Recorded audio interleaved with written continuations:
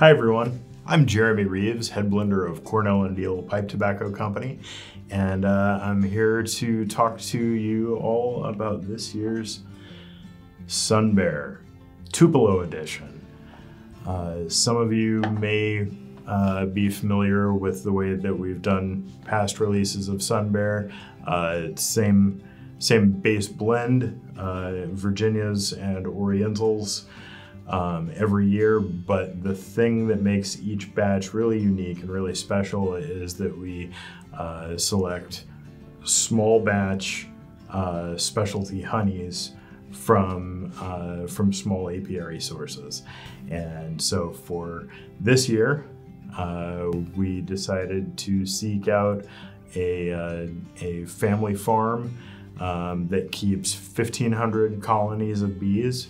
Uh, they're located in northern Florida, Register Family Farms, and they are uh, a very small apiary, but they are the largest producer of uh, white Tupelo honey in the country.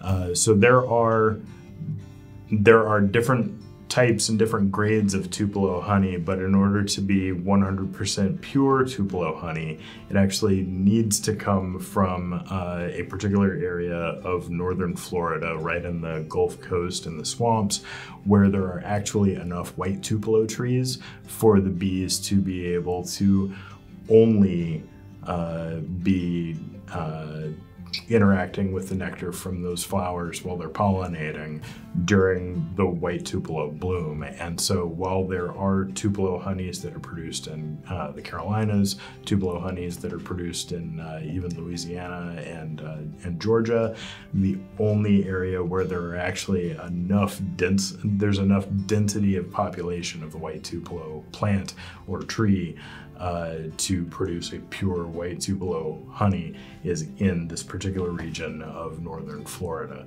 So it was really, really awesome to be able to talk to them and learn about the way that uh, you know they have to canoe out into the swamps uh, to set up their their beehives, their bee colonies there, so that they're uh, right within striking distance uh, when the Tupelo bloom happens. It takes about two weeks. Um, so it's a very, very short targeted bloom. Um, and you know the color change in in the honey is visible when you're going through the the trays of honey in the hive. It's easy to see like suddenly the honey is very very pale, uh, very very light in color, uh, obviously thinner and and a little runnier. And uh, one of the interesting things about Tupelo honey is aside from all of the work that goes into it and the fact that you have to uh, navigate through through swampland to get to it, um, is that it is 100% uh, fructose uh, so most honeys are some some blend, some ratio of fructose and sucrose, but the white Tupelo honey is actually 100% fructose, which means that it will never uh, bind up, it will never crystallize, um, even even through cold storage.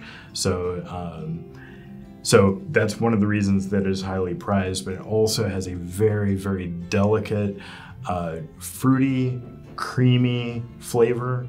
There is a hint of citrus to it, but uh, the the the light color and the thin viscosity um, are it, it, makes the creamy texture and flavor even more interesting to me. And I noticed that creamy, uh, creamy flavor coming through predominantly in, in the smoke of this year. So while previous iterations of Sun Bear felt were a little more forward in their floral aspect, um, floral in the spicy character or, or in a citrus note, I really find that the thing that this honey is really imparting to this blend and what makes this whole project so fun is we're making one tiny little change, but it makes like really neat, uh, really neat changes to to the way that you experience the blend. That in this case, yeah, you're really getting that that creamy element, uh, which is sort of a, a nice surprise.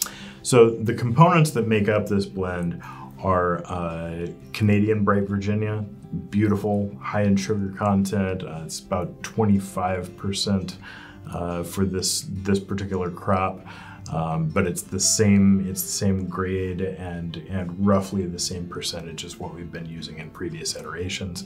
Uh, 2019 uh, Basma, 2018 Izmir. Um, so the Basma comes from Greece and has sort of an olive oil element to it and a little bit of a savory note.